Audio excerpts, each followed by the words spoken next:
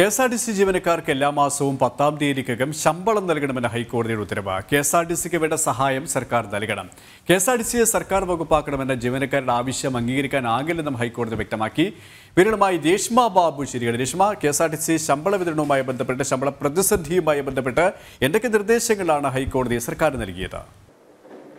സുരേഷ് ശമ്പളം ഉറപ്പാക്കണമെന്നാവശ്യപ്പെട്ടുകൊണ്ട് K S R T C ജീവനക്കാർ നൽകിയ ഹർജിയിൽ ഹർജിയിന്മേലുള്ള നടപടികൾ അവസാനിപ്പിച്ചുകൊണ്ടാണ് ഹൈക്കോടതിയുടെ ഭാഗത്തു നിന്നും അന്തിമ ഉത്തരവ് പുറപ്പെടുവിച്ചിട്ടുള്ളത്. K S R T C ജീവനക്കാർക്ക് എല്ലാ മാസവും പത്താം തീയതിക്ക് മുൻപ് ശമ്പളം നൽകണമെന്നാണ് ഹൈക്കോടതി സിംഗിൾ ബെഞ്ചിന്റെ അന്തിമമായിട്ടുള്ള ഉത്തരവ്. ഒപ്പം തന്നെ സർക്കാർ വേണ്ട സഹായം കെ എസ് ആർ ടി സിക്ക് നൽകണം. സർക്കാരിന്റെ സഹായം യാതൊരു കാരണവശാലും കെ എസ് ആർ ടി സിക്ക് നിഷേധിക്കാൻ പാടില്ല എന്നുകൂടി ജസ്റ്റിസ് ദേവൻ രാമചന്ദ്രൻ ഉത്തരവിൽ ചൂണ്ടിക്കാട്ടിയിട്ടുണ്ട്. ചില ആവശ്യങ്ങളും ഇന്ന് ഹർജിക്കാർ ഹൈക്കോടതിയിൽ മുന്നോട്ട് വെച്ചു. കെ എസ് ആർ ടി സിയുടെ ബാധ്യതകളെല്ലാം സർക്കാർ ഏറ്റെടുക്കണം എന്നുള്ള ഒരു ആവശ്യമായിരുന്നു ഹർജിക്കാർ ഹൈക്കോടതി മുൻപാകെ മുന്നോട്ട് വെച്ചത്. പക്ഷേ കെ എസ് ആർ ടി സിയുടെ ബാധ്യതകൾ സർക്കാർ ഏറ്റെടുക്കണം എന്നുള്ള ആവശ്യത്തിന്മേൽ ഇടപെടാനാകില്ല എന്നുള്ളൊരു നിലപാടാണ് ഇക്കാര്യത്തിൽ കോടതി സ്വീകരിച്ചത്. മാത്രവുമല്ല ഈ കെ എസ് ആർ ടി സിയെ സർക്കാർ വകുപ്പാക്കി മാറ്റണം എന്നുള്ള മറ്റൊരാവശ്യം കൂടി ഹർജിക്കാർ കോടതി മുൻപാകെ വെച്ചു. പക്ഷേ ഇതും അംഗീകരിക്കാനാകില്ല എന്നുള്ളൊരു നിലപാടാണ് ഹൈക്കോടതി സ്വീകരിച്ചത്. എന്തായാലും എല്ലാ മാസവും പത്താം തീയതിക്ക് മുൻപ് തന്നെ